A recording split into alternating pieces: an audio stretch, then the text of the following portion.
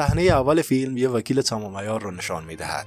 یی سونگ که سعی دارد از پدرش به خاطر جنایتی که مرتکب نشده دفاع کند.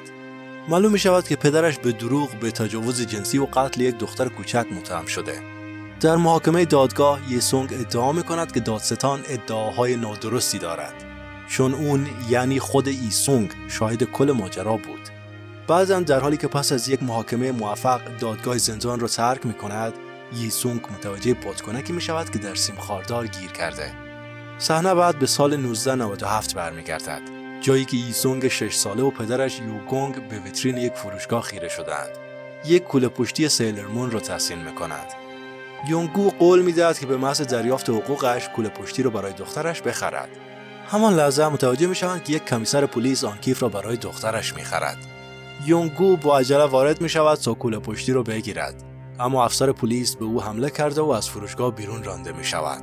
پس از این حادثه پدر و دختر بدون کیف کمی کتک خورده اما با روحیه بالا خانه برمیگردند. ییسون که بچه مهربان و باهوشی هست شرایط رو درک می‌کنه و با وجود نگرفتن کیف احساس ناراحتی نمی‌کنه.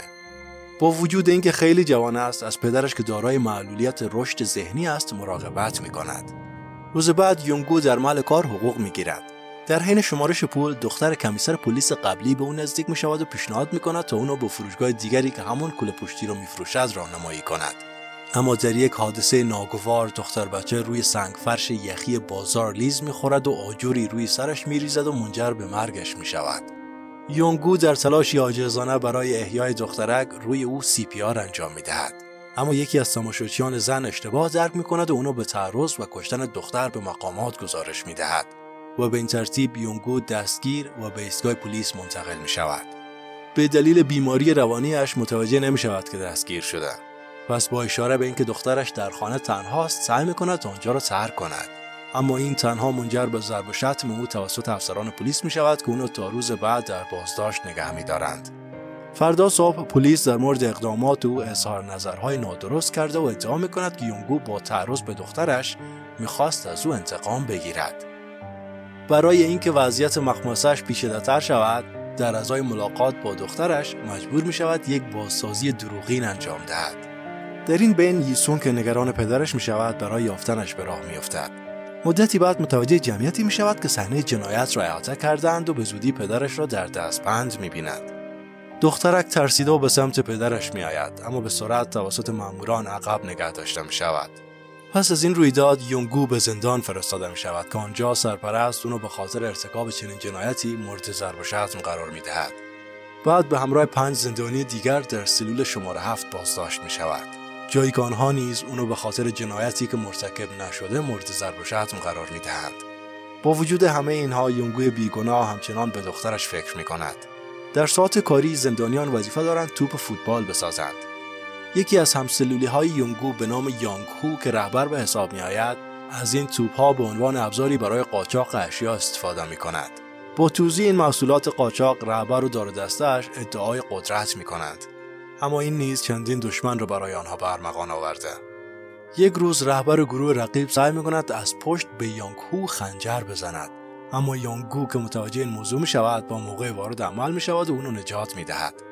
اقدامات او رهبر را عمیقا تحت تاثیر قرار می‌دهد و بعدا یانکو به هر نحوی که می‌تواند به یانکو پیشنهاد کمک می‌کند تا لطفش را جبران کند در پاسخ یونگو تمایل خود را برای دیدن دخترش ییسونگ ابراز می‌کند و در نتیجه دختر بچه به همراه گروهی از سران سرایان که برای اجرا آمدند به زندان آورده می شود. پس از انتظار برای زمان مناسب دختر روبوده شده و داخل سلول شماره هفت قاچاق می شود تا با پدرش ملاقات کند. به محض اینکه یونگو اونو ملاقات می کند با احساس دخترش را در آغوش می گیرد. از این کنو ترک کرده و می کند و توضیح می‌داد که در بازداشت است. اما به دلیل منحل شدن رویداد کلیسا اتحاد مجدد پدر و دختر متوقف می شود. همسلولی ها بعد با عجله سعی می کنند دختر را خارج کنند اما حالا برای این کار زمان کافی ندارند. اتوبوس کلیسا حرکت می کند و ییسونگ در زندان باقی می ماند. در نتیجه چاره جزی ندارند که دختر را داخل سلولشان نگه دارند. یکی از همسلولی ها از فکر عواقب این کار در صورت گرفتار شدن می ترسد و تصمیم می گیرد به نگهبانان هشدار دهد. اما وقتی به چهره گریان ییسون نگاه می کند نمی تواند این کار را انجام دهد. پس از زندگی با آنها همسلولی های یونگو متوجه می شوند که یونگو نمی‌تواند مرتکب چنین جرمی شده باشد چون دخترش را بسیار دوست دارد چند روزی میگذرد و سلول حالا بیشتر شبیه زمین بازی ییسونگ است تا سلول زندان. زندانیان در نهایت با او کنار میآیند و به دلیل بامزه بودنش با او گرم می‌شوند. یک شب رئیس زندان تصاویر مربوط به مراسم گروه کلیسا را مرور می کند و متوجه می شود که یکی از دختران غایب است. زندانبان که متوجه می شود دختر قاچاقی وارد زندان شده دستور بازرسی فوری کل زندان رو می دهد. اندکی بعد یسونگ پیدا می شود و فورا به یتیم خانه فرستاده می شود در حالی که یونگو در یک سلول انفرادی محبوس می شود. همان شب در حالی که یک زندانی به اجازه دادن یک دختر کوچک داخل زندان اعتراض می کند یک آتش سوزی عمدی رخ می دهد. میان هرج و مرج همه زندانیان به حیات فرستاده می شوند در حالی که زندانبان برای دستگیری معترض وارد سلول می شود.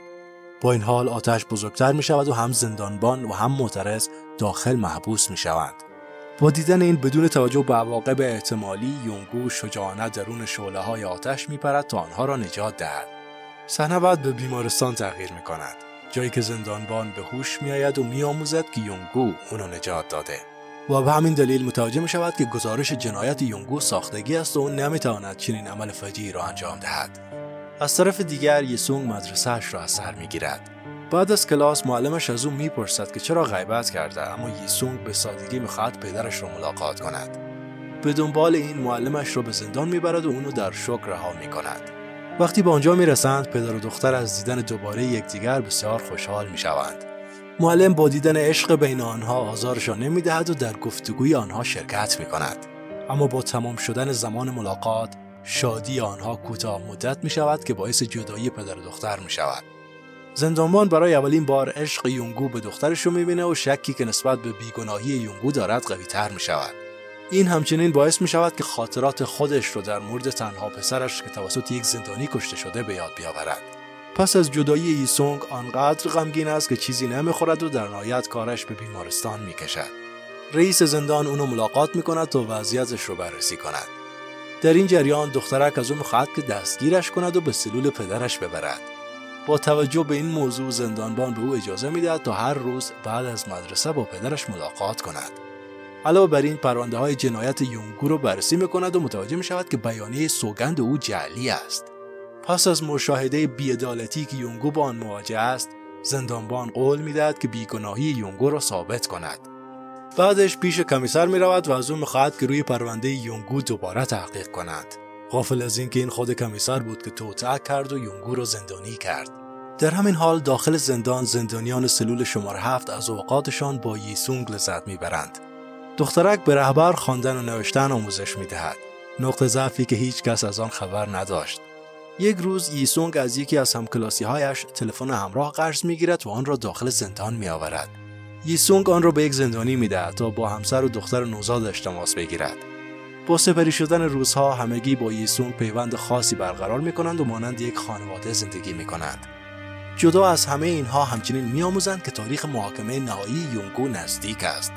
در پاسخ زندانیان متعهد می شوند که اونو برای موفقیت در محاکمه آموزش دهند تا بتواند به زندگی شاد با دخترش بازگردد. برای این کار ابتدا از یونگو می‌خواهند که ماجرا را به تفصیل توضیح دهد همچنین برای دریافت تصویر دقیق حادثه چندین سناریو رو مرور می کنند. پس از چند روز سرانجام به این نتیجه می رسند که دختر کمیسر واقعا روی یک گودال یخزده لیز خورده بود. دخترک هنگام سقوط پلاستیکی را گرفت که باعث افتادن آجر روی سرش شد و اونو کاشت. زندانیان همچنین متوجه می شوند که برای امضای یک گزارش جعلی از یونگو بوجگیری کردند و به همین دلیل کارش به زندان کشیده شد. حالا با کشف حقیقت یونگو در مورد نحوه پاسخگویی به سوالات پیگرد قانونی آموزش می‌بیند اگرچه به دلیل بیماری روانیش سخت است اما مطمئن هستند که پیروز خواهند شد چون به او بدرفتاری شده زندانیان تمام سوالات ممکن به همراه پاسخهایی که احتمالا در دادگاه از او پرسیده می شود را یادداشت می کنند که یونگو شبانه روز همه را مطالعه می کند. به علاوه برای شرکت در محاکمه یونگو همسلولی ها یک دادخواست به راه می اندازند تا بتوانند از نزدیک حمایتش کنند. میان آماده سازی ها یک وکیل عمومی برای ملاقات یونگو می آید. وکیل می‌گوید که برای نجات دخترش باید به گناه خود اعتراف کند و اظهار می دارد که در صورت پیروزی در دادگاه کمیسر به ییسونگ صدمه می‌زند. وکیل همچنین دادخواست زندانیان را رها می‌کند و می‌گوید که کمکی نمی کند. در سکانس بعدی روز محاکمه مورد انتظار فرا می رسد و یونگو برای حکم نهایی به دادگاه آورده می شود. در اتاق انتظار کمیسر او را از شدت عصبانیت کتک می‌زند و تهدید می کند که اگر به قتل اعتراف نکند دخترش را خواهد کشت. مدتی بعد دادگاه شروع می شود و یونگو که به شدت نگران دخترش است با اعتراف به اتهامات خود را قربانی می کند. رئیس زندان سعی می کند قاضی را متقاعد کند که یونگو از نظر ذهنی ترسانده شده اما یونگوی بیچاره در نهایت به اعدام محکوم می شود. تاریخ اعدام برای 23 دسامبر برنامه ریزی شده که اتفاقا روز تولد ییسونگ است. در بازگشت به زندان زندانیان برای یونگو دلشان می سوزد. پس تصمیم می گیرند کاری برای او انجام دهند. نقشه برای ساختن یک بالون برای تسهیل فرار او طراحی می کنند. با انگیزه رهایی یک انسان بیگناه از چنگال بیعدالتی روزها و شبهای خود را وقف این پروژه می کنند. همچنین اسایر زندانیان و معلم ییسونگ برای شروع طرح درخواست کمک می کنند. چند روز بعد زندان برنامه ترتیب می دهد که در آن ییسونگ به همراه چند کودک دیگر به یک اجرای گروهی می پردازند. در پایان اجرا ییسونگ دست پدرش را می‌گیرد و اونو به حیات دعوت می کند و سایر زندانیان نیز به آن میپیوندند تا این توهم را ایجاد کنند که اجرا همچنان ادامه دارد. با استفاده از لحظه مناسب زندانیان یونگو و ییسونگ را روی بالون میفرستند و تناب را رها می کنند. هنگامی که پدر و دختر فرار می کنند، نگهبانان از تلاش آنها برای فرار آگاه می شوند. اما زندانیان آنها را از تعقیب بالون باز می دارند. با این حال تناب بالون به سیم خاردار گیر می کند و باعث می شود نقشه آنها با شکست مواجه شود. حالا که جایی برای رفتن ندارند، پدر و دختر از این لحظه برای تماشای غروب خورشید استفاده می کنند. در 23 دسامبر یونگو و همسلولی هایش قبل از اینکه اونو برای ادام ببرند تولدش رو جشن می‌گیرند. دخترک را با یک کیک تولد و چند هدیه غافلگیر می کنند. یونگو سرانجام کوله پشتی مورد علاقهش را به او تقدیم می کند که مدت هاست در فکر خرید آن بود. دختر کوچولو که از این هدیه بسیار خوشحال است از او به خاطر پدر بودنش تشکر می کند. در حالی که همدیگر را در آغوش می گیرند بقیه زندانیان که از سرنوشت یونگو آگاه هستند نمی توانند جلوی اشکهایشان را بگیرند. با وجود این حتی یک کلمه هم جلوی دختر بچه به زبان نمی آورند. به سادگی وانمود می کنند که پدرش در حال انتقال به زندان دیگری است و به او می‌گویند که قوی باشد. اندکی بعد نگهبانان زندان میآیند تا یونگو را برای اعدام ببرند. قبل از رفتن از تمام همسلولی هایش به خاطر مراقبت و حمایتشان تشکر می کند. زندانیان آشکارا غمگین اما زرمانده هستند و کاری از دستشان ساخته نیست. در حالی که یونگو با دخترش از جلوی سالن عبور می کند بقیه زندانیان نیز در غم و اندوه او شریک هستند. وقتی لحظه جدایی فرا می رسد یونگو تلاش زیادی می کند تا جلوی اشکهایش را بگیرد. قبل از رفتن به سوی تناب دار ایسونگ را برای آخرین بار در آغوش می گیرد. هنگام دور شدن صدای دخترش را میشنود و با عجله برمیگردد تا یک بار دیگر و برای آخرین بار او را در آغوش بگیرد درخواست کمک می کند چون نمی‌خواهد از دخترش جدا شود اما حالا خیلی دیر است و حتی زندانبان نیز ناتوان به نظر می رسد و بالاخره یونگوی بیچاره در نهایت به خاطر جنایتی که مرتکب نشده بود اعدام می شود 16 سال بعد یسون که حالا یک وکیل است برای پرونده پدرش که هنوز به عنوان یک جنایتکار شناخته می شود درخواست تجدید نظر می کند. با رئیس زندان و حمایت زندانیان سلول شماره هفت سرانجام می تواند بیگناهی پدرش را ثابت کند. قاضی با لغو حکم قبلی یونگو را تبرئه می کند و همچنین دستور می‌دهد که درباره مرگ دختر کمیسر تحقیق مجدد انجام شود که این شادی بی حد و حصری را برای زندانیان سابق، زندانبان و ییسونگ گریان به ارمغان می آورد. صحنه بعد به ابتدای فیلم برمیگردد. جایی که یسونگ تصویری از یونگو و خود جوانترش را در بالون می‌بیند که دارند خداحافظی می‌کنند. فیلم در حالی به پایان می‌رسد که یسونگ با چشمانی گریان با پدرش خداحافظی می‌کند و بالون به سوی آسمان بی انتها به پرواز در میآید.